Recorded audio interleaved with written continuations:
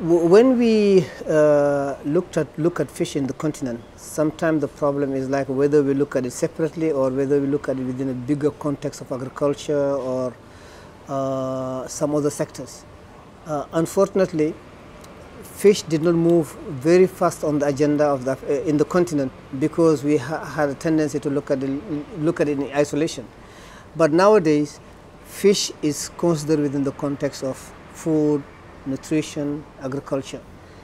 And because of that, uh, the agenda has moved and we implementing what we call the policy framework or reform strategy of the continent, uh, where we're looking at many, many, many layers. We're looking at uh, uh improving the fishery governance, we're looking at uh, combating waste and loss, we're looking at uh, reducing post-harvest losses, we're looking at combating IUU fishing, uh, we're looking at uh, uh, developing small-scale fisheries with the role to contribute to nutrition, security, and food.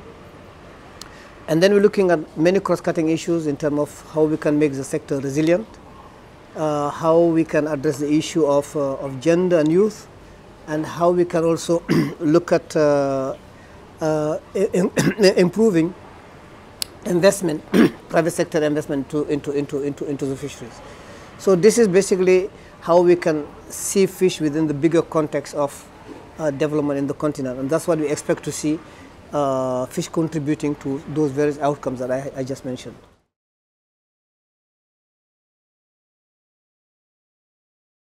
In terms of moving the fishery agenda in the continent, we're working very closely with WorldFish on, uh, on fish trade. Uh, the reason is that the knowledge is carried on fisheries in the continent. Uh, so we want to improve the knowledge on fish movement in the continent. Then we, based on that knowledge gathering, we try to develop policy, tools and instruments, and support member states to implement them. Uh, but this also comes with the fact that, okay, when you bring those instruments to the member state, you may face the situation where uh, your stakeholders do not have the capacity to implement. So we also uh, put in place with the support of WorldFish uh, a set of uh, measures to support member states to implement those policies.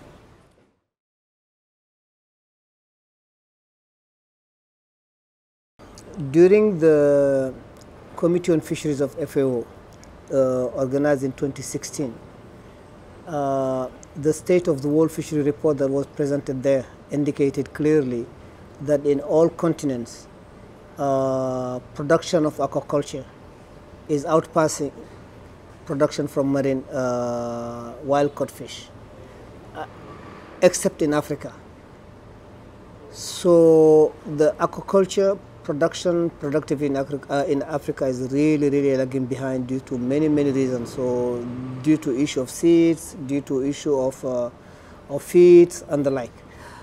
Um, but the demand is there. Uh, the demand for fish in the continent is very, very, very big. If you look at West Africa, you have maybe some hotspot where you have a surplus of fish production, but you go to areas in the Gulf of Guinea, those are uh, have deficit in fish. So if you go to Ghana, for example, the commercial size for a fingerling is like five grams, but it's almost impossible to five, find a five gram uh, fingerling on the market because the demand is so strong that sometimes the fingerlings are sold when they are two to three grams. So the demand is there. Uh, so we just need to create uh, the conducive environment for the industry to take uh, to take off, and that will demand one uh, figuring out how to bring the feed cost and seed costs down. Two, put in place also some environmental safety measures to prevent uh, uh, invasive species to come into the continent, maybe uh, create some problems that are not necessary. We need also to put in place uh, some regulations to basically uh, try to monitor the development of the sector because at the moment in many countries it, those regulations are not there. Um, so I think I think the there is a hope that uh, this sector will grow. And one of the reasons why, why I think it's important to focus on fish, excuse me, is that in the continent, uh, if you look at the protein content of meat, it's usually about 18%. But if you look at the protein content of fish, it's 21%. So fish provide more animal protein to, to human than, than, than meat. Uh, and then in many cases also fish is cheaper.